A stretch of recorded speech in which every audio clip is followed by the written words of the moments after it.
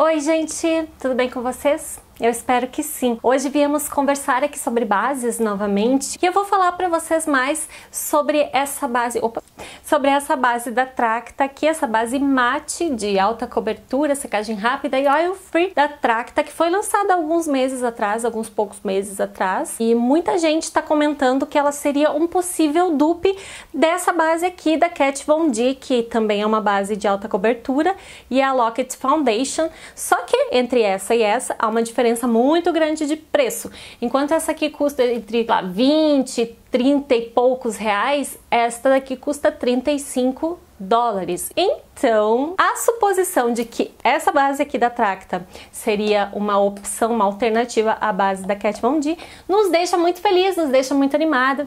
E aí, quando começou a rolar esse papo, eu pensei, hum, vamos compará-la em vídeo para vocês verem se realmente elas são equivalentes, se realmente essa base aqui da Tracta serve como um dupe da base da Kat Von D. A base mate da Tracta, ela foi lançada a princípio com seis cores. Eu não sei se eles pretendem lançar mais, mas por enquanto tem seis cores. Aqui eu estou usando, que tem dado certo para minha pele, é a 02. Tem a 01 e ela não deu muito certo pra mim, olha só que milagre, porque ela fica, parece, gente, passou uma máscara branca no meu rosto, uma tinta branca, fica muito clara.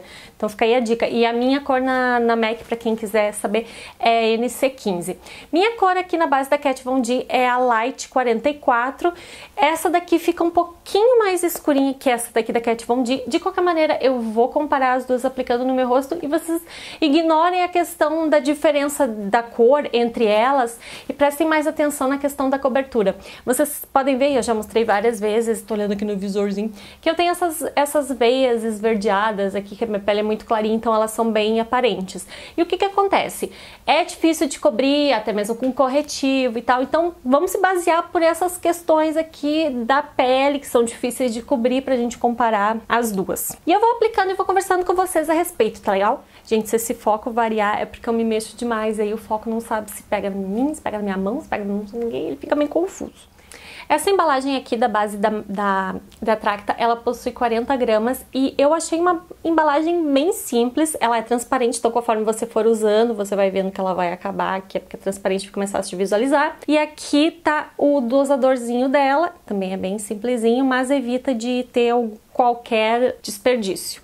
Aqui vocês podem ver a consistência dela, ela é bem cremosinha, tá aqui. Eu só preciso desse tantinho, no máximo, porque ela rende muito. Isso eu posso dizer para vocês já de antemão que essa base rende bastante. Então não precisa pegar muito. E como eu só vou aplicar também de um lado do rosto, porque do outro lado eu vou usar a base da Kat Von D, então vocês podem...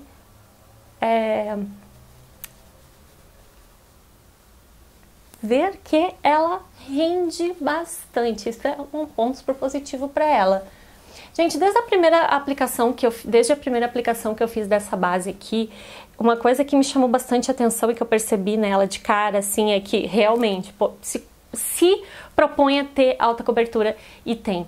A base Ultimate Finish da Vult eu acho muito boa, mas ela não tem essa cobertura dessa forma aqui, tanto é que eu preciso construir camadas com ela se eu quiser deixar ela tão é, tão reboquinho assim. E essa aqui da Tracta não, gente, assim, essa aqui da Tracta com uma camada só, tu já consegue uma cobertura muito, muito, muito boa. Não sei se vocês conseguiram perceber, mas ela não é uma base difícil de espalhar, tá, gente? Ela tem, ela é cremosinha e fácil de espalhar, apesar de ter uma cobertura um pouco mais alta, ser é, ser uma base mais pesada e ser sequinha, ela não tem, ela não apresenta dificuldade na hora da aplicação. Ok? Apliquei apenas uma camada e uma camada leve, mas que cobre bastante, da base da Tracta cor 02, como eu falei pra vocês. Agora eu vou aplicar deste lado aqui do meu rosto a base da Kat Von D, pra vocês verem. Essa daqui da Kat Von D, ela tem esse pumpzinho aqui, e você aperta aqui e sai. Ela também, ela tem a consistência muito parecida com a base da Tracta, mas eu diria que a da Kat Von D é um pouco pouquíssima coisa mais líquida. Ela virando aqui, ela escorre um pouquinho mais que a base da Tracta. E aqui deste lado, então, vamos aplicar a base da Kat Von D. Questão de cheiro, gente, essa aqui da Kat Von D, ela não tem cheiro, tá? Já a da Tracta, ela tem um cheirinho muito, mas muito de leve, tá? Uma coisinha bem suave. Eu não sou chata com cheiro, tanto é que eu não me incomodo com o cheiro das bases da MAC Muita gente se incomoda, mas eu não me incomodo. Então, é, esse quesito não posso não posso dizer para você se é um cheiro que incomoda ou não, mas acredito que não, porque é bem, bem, bem fraquinho, bem tranquilo. Mas como é uma base muito mais acessível, né, para te pegar aí até uma, uma perfumaria, uma farmácia, alguma coisa assim e dar uma cheiradinha nela, é mais fácil, né, do que comprar essa base da Cat Von D aqui só para saber se o cheiro é bom ou não, mas ela não tem cheiro. Ok, as duas bases aplicadas. Agora eu tô assim, consideravelmente mais branca, porque não tem nada aqui de, de contorno no meu rosto, mas vamos discuti-las. As duas se propõem a ter o acabamento mate, ter um acabamento sequinho. Eu apliquei a da Tracta antes e a da Kat Von D depois. No entanto, ao tocar, me parece que a da Kat Von D é mais sequinha. Tanto é que eu não costumo usar nenhum pó com ela. Já a base da Tracta, normalmente eu selo com pó, que é para não ter nenhuma sensação, aquela coisa assim de tô usando base, tem alguma coisa aqui no meu rosto. Então, assim, ela não incomoda, tá, gente? Ela não é desconfortável, mas ela é um porque ela não fica totalmente mate. Essa, é, essa, essa é a verdade. Ela não fica totalmente mate pelo menos na minha pele, sem aplicação de pó. Por ser uma base de cobertura, por serem bases de cobertura mais alta, mais sequinhas, mais pesadas, eu acho que para pele madura elas não combinam muito porque acumula nas linhas. Eu tenho aqui meu bigodinho, ah, eu tenho essa tristeza desse bigode e aqui nas linhas finas já debaixo do olho, tem que cuidar muito porque acumula assim. Então, se, tem, se é uma pele já bem madura, não é uma base muito recomendada, nem, nenhuma nem outra não é muito recomendável para esse tipo de pele. Mas se você gosta de alta cobertura, gente, eu acho que essa base aqui da Tracta é uma ótima opção nacional. Podem ver como que ficou essa região aqui, que é a mais maltratadinha, mais chatinha para eu cobrir, e tanto uma quanto a outra estão sem corretivo, e vocês podem ver, é, ignorem a questão da cor que eu falei antes, que é, né, a, a tonalidade é um pouquinho diferente, mas o que eu quero aqui mostrar para vocês é a cobertura, então isso dá pra gente notar. Ok, deixa eu mostrar aqui para vocês o tanto que é cada uma delas transfere. Deixa eu pegar primeiro aqui a base da Tracta.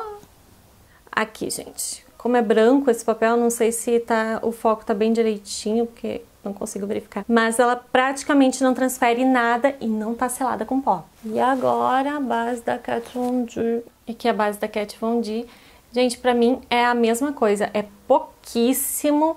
Eu acho que as duas transferiram praticamente a mesma coisa. Vou botar um papelzinho aqui ao lado do outro. Ó, podem ver que praticamente nenhuma transferência em nenhuma delas. Essa daqui é da Kat Von D, aqui embaixo, ó.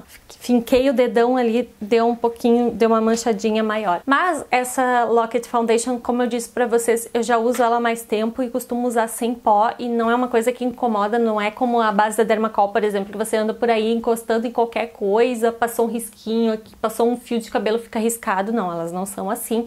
Elas têm um acabamento mate, elas têm uma alta cobertura, mas deixam uma certa naturalidade pra alta cobertura, que por exemplo a Dermacol Dermacol não deixa, né? Que é, entra, numa, entra também numa categoria diferente de base, né? Então, por isso, vamos, vamos deixar a, as comparações dentro das duas. Quanto à durabilidade, bom, a Locket Foundation, ela foi desenvolvida para durar 24 horas e, de fato, ela dura muito na pele. Ela dura o dia inteiro intacta, é impressionante, é maravilhosa. Já a base da Tracta, ela não vem com essa proposta, no entanto, para mim, ela dura ali umas 5 horas, bem tranquilo, aí depois já começa a abrir aqueles espaços, parece que tá sem base, assim, mas eu achei uma duração bem bacana, bem legal, bem satisfatória. É, quanto à cobertura, eu adorei de cara. Na primeira vez que eu usei ela, eu já gostei.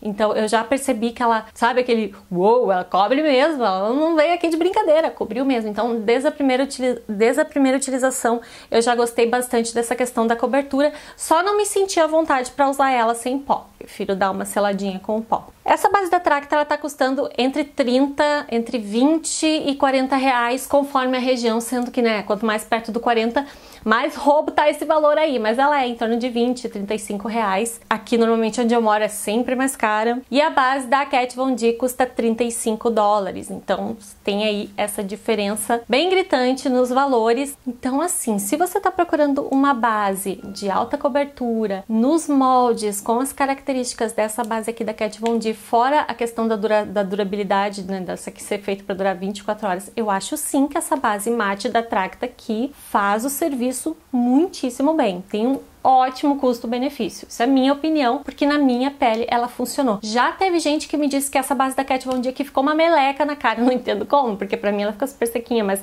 já teve gente que me disse que, nossa, ela ficou uma meleca, não gostei. Então varia muito, é que eu sempre digo para vocês, varia muito de pele para pele, não tem como garantir 100% que vai dar certo em todo mundo, não tem, impossível. Mas eu gostei muito, para mim deu bem certinho, funcionou, funcionou bastante, funcionou legal, da mesma forma como funciona a base da Kat Von D tá aprovadíssima. Então poderíamos dizer que é um dupe da base, sim, mas com aquelas limitações, né? Não tem tantas cores, não dura 24 horas, mas tem uma excelente cobertura. Talvez, vou, vou aqui me arriscar a dizer que ela é a minha base nacional favorita do momento e não só para automaquiagem, como também para maquiar clientes, porque preciso de, muitas vezes preciso de uma cobertura bem boa, bem power assim, e tenho usado bastante ela. Tenho gostado bastante. Tá bom? Se você já usou essa base da Tracta, me conta aqui nos comentários se deu certo para você, pra gente poder ajudar mais gente que quer aí comprar, que está buscando mais informações a respeito dela, tá bom? Deixa o seu curtir aqui nesse vídeo, deixa o seu joinha, seu like, porque ajuda demais. Se inscreva no canal se ainda não for inscrito. E é isso aí, eu vejo vocês no próximo vídeo. Um beijão. Tchau, tchau.